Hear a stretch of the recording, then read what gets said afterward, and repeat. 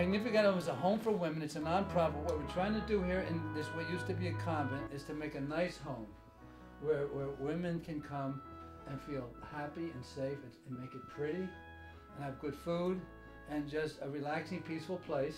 I'd like to say is I was recommended by my church to have a safe haven at Magnicut.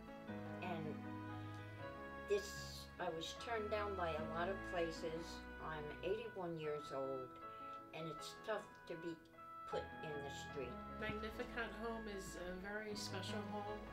I didn't have a place to stay, and they welcomed me here at Magnificat Home. And it does provide three meals a day. Uh, I have my own room, and um, people are very nice and friendly, and everyone gets along with each other. And um, I've enjoyed my stay here. And I just, I, if you need help out there, I, I pray that you reach out. Thank you. I appreciate um, Magnificent Homes.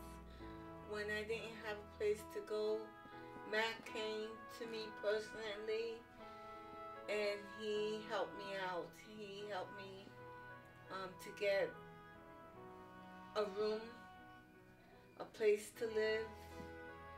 Um, I really appreciate it and I thank Mac.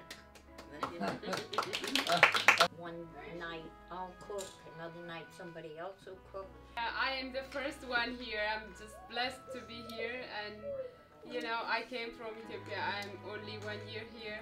I mean, Brock is not only a great cook, which someone mentioned, but she's like a mother to this house. She's here all the time, and she takes care of the place. She helps everybody. She's here at night, and uh, everybody looks to her, and she and she brings like a stability. She's really like a gift from God. I'm so glad we got her. You know, it was like an answer to prayer because we needed. I knew we needed someone um, to be here, to live here, to manage the place. You know, and so she's an answer to prayer. My mother died of a heart attack, and this place, um, I found out about Magnificat Home, and I've been living here for a month, and it's a really nice place if you need to get on your feet. I was in a shelter, and it's horrible. It has a warmth here that you don't find in a shelter.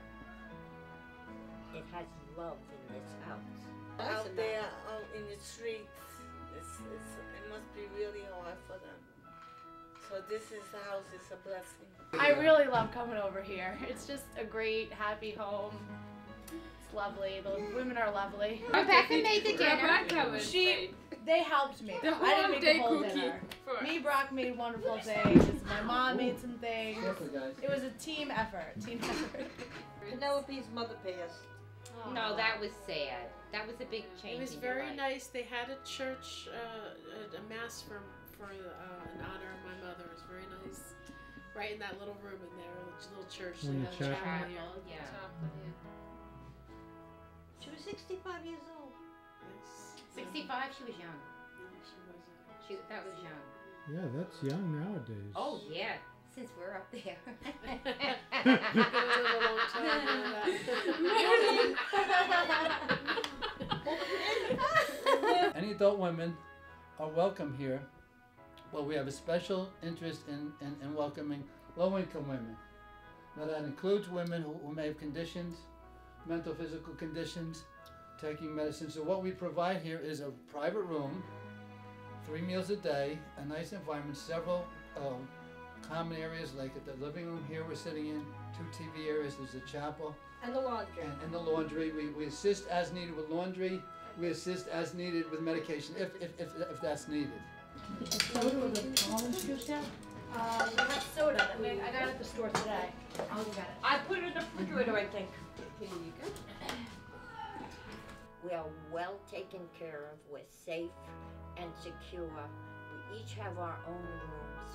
And I'd like to take the time to tell the people out there to please keep us going. It's just like home.